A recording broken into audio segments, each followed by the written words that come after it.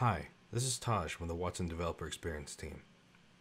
In this video, we're going to create a new Unity project, and then we're going to add the Watson Unity SDK to that project.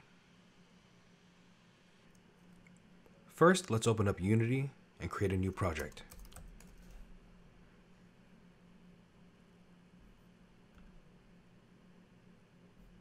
Name the project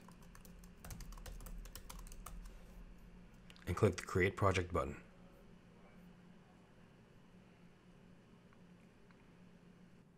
Now, let's get the Watson Unity SDK.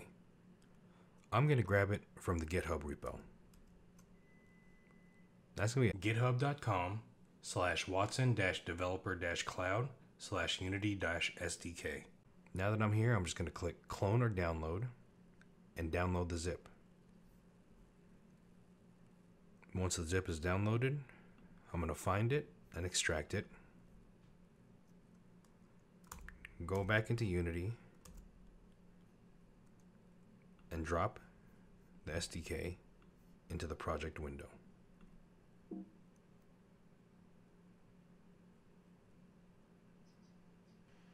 I like to rename the SDK Watson because it's a little more descriptive than Unity SDK.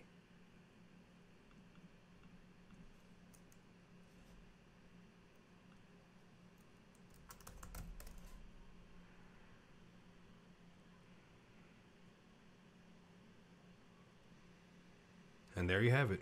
We have a new Unity project with the Watson Unity SDK installed. In the next video, we're going to show you how to access Watson services from within Unity.